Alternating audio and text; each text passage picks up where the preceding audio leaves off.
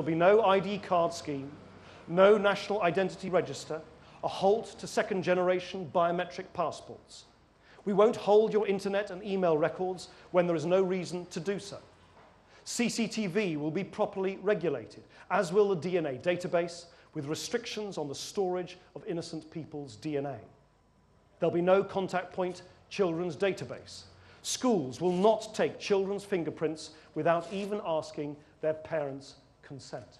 We'll remove limits on the rights to peaceful protest. It's why we'll review libel laws so that we can better protect freedom of speech.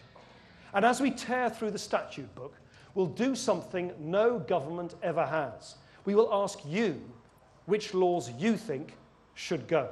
So we'll get rid of the unnecessary laws, and once they're gone, they won't come back. And we will, of course, introduce safeguards to prevent the misuse of anti-terrorism legislation. This government will do better by British justice, respecting great British freedoms which is why we'll also defend trial by jury.